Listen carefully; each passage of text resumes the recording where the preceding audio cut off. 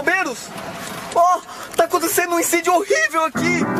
Vem rápido, pelo amor de Deus! O endereço é. Avenida Ibamacuri, transporte 7.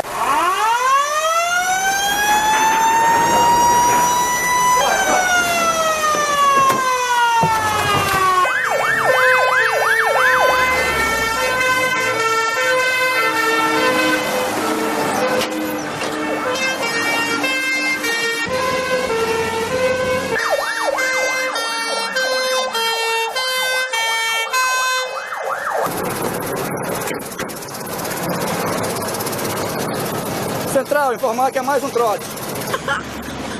Otários caíram de novo! Uh, toca aí! Nós somos os caras, rapaz!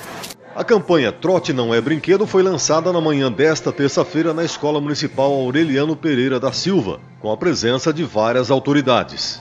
Tem atrapalhado muito, né? Foi por isso né, que, eu, que eu solicitei da Câmara que nos auxiliasse com a campanha. Quero aqui agradecer à Câmara Municipal do Sorriso. E realmente o trote atrapalha, né? Nós tivemos estatísticas, né? E com mais de, de 100 trotes agora no mês de fevereiro, só para os senhores terem uma ideia. Então atrapalha, isso incomoda o serviço e o pior, né? Pode atrapalhar uma outra pessoa que está precisando. Mãe! O que aconteceu aqui, mãe? Uma desgraça! Por que a senhora não chamou o bombeiro, mãe? Eu chamei, mas eles estavam ocupados por causa de um trote! Por causa de um trote! De um trote! O Major explicou também por que o lançamento foi feito dentro de uma escola.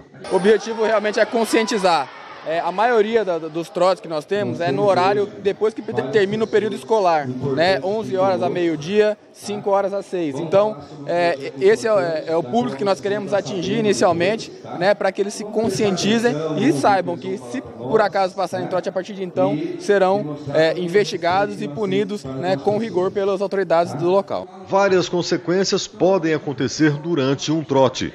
É, as consequências são diversas, né?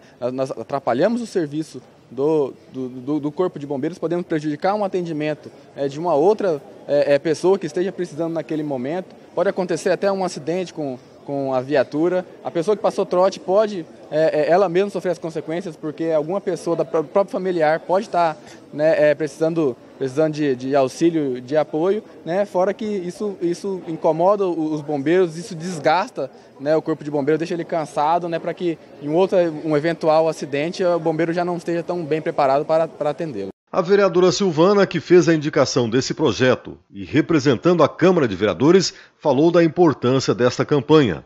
É uma indicação, inclusive, minha e da professora Marisa, né?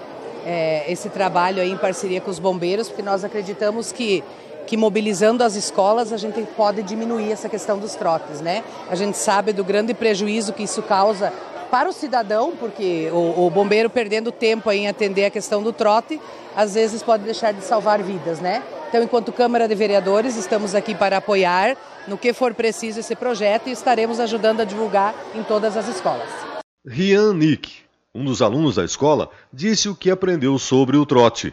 Trote, tipo assim, você. A pessoa tá fazendo trote com a polícia assim com os outros, né? Muitas pessoas devem estar tá correndo perigo, tipo assim, ela fez o trote, o policial vai lá ver o que, que aconteceu, as outras pessoas devem estar tá fazendo perigo também.